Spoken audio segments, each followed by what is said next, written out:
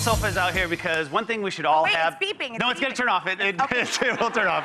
Takes a second, a couple I, beeps. I thought baby needed me. Yeah, I know. It's crying out for you. That's the cool thing about robots. Okay, this is a little bit uh, electronic too, but it's a tape measure. Uh, tape measures, everybody should have them. Of course, as a contractor, I use them all the time. But the cool thing is, it has this little uh, display up top. So it takes a lot of the guesswork out of trying to measure things. Now, we've seen a lot of these on the market before, but the cool thing about this is that, you know, the numbers come out right away.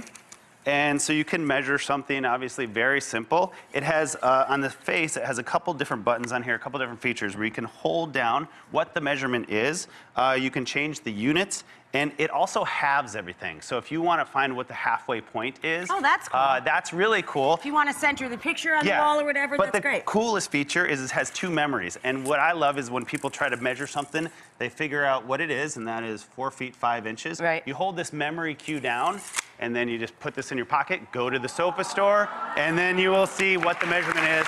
And that runs about $30. That's pretty cheap and cheerful. So that's the E-Tape 16. So electronic tape 16. 30 bucks.